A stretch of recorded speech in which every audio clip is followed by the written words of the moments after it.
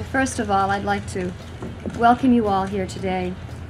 And I'm happy to announce, as you know, that Graceland will be open to the public as a memorial museum to Elvis Presley. Is Colonel Parker invited to this? Gee, did we did we send him a telegram? He's not in the media. That's right. That's right. He's not in the media.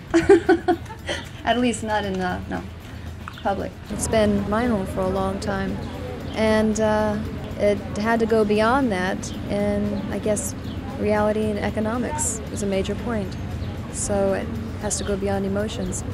Is the upkeep on Graceland terribly draining on the estate? Very much so. Absolutely. This has been a major point. And um, this has been, of course, the, the major decision of why we are opening it. Did he talk in jest about someday Graceland opening to the public? Yes, absolutely. Elvis was very proud of his home, and anytime guests would come in, he was more than willing to show show them throughout the the house, and uh, I think he'd be very pleased to know that it was shown in this way. I'm very happy. I always feel you're going to get some criticism no matter what you do. I found in life that you know you're not always going to be. Uh, or people are not always going to think you're doing the right thing. And if there's to be a Graceland at all, this is the way we have to do it. Uh, thank God that uh, uh, we're doing it privately. You know, we uh, it didn't really work out with the state and with the city, but uh, we have control, and, and we're doing it, I believe, in the way that Elvis would love and appreciate, and we're maintaining it and uh, preserving it for him. So, you know, what can I say? I think Lisa, at the time that she's of age, will be very happy that it's done this way. Do you think she ever wants to live here? Uh, I don't know, but if she does, it's hers and uh, it'll all be preserved for her. I don't think it could be if it was done any other way. If you'll notice, there is no um, kind of construction going up on the grounds that's permanent. If ever she decided at the age of 25 that she wanted to maintain it as her personal home, it's, it's, it's for her to do just that, yes. What does she think about opening it up?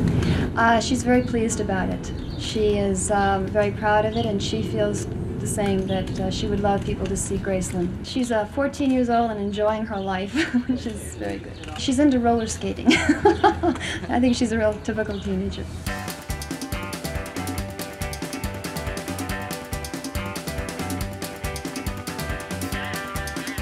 Yes, I have mixed emotions about it. It is quite, uh, it's something of which um, it was a long time to make the decision, but it's something that I feel is it's very good and very positive, and especially the way that we're doing it. Uh, I think it's very good.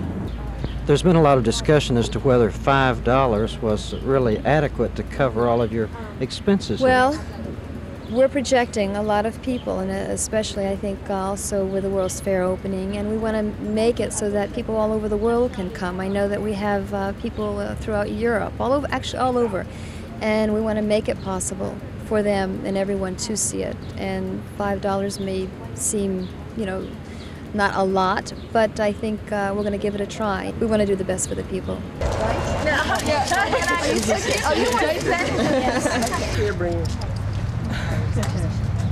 Okay. Thank you very much. It's been a long time since I felt I'm not used to it. Bye bye. Can I have a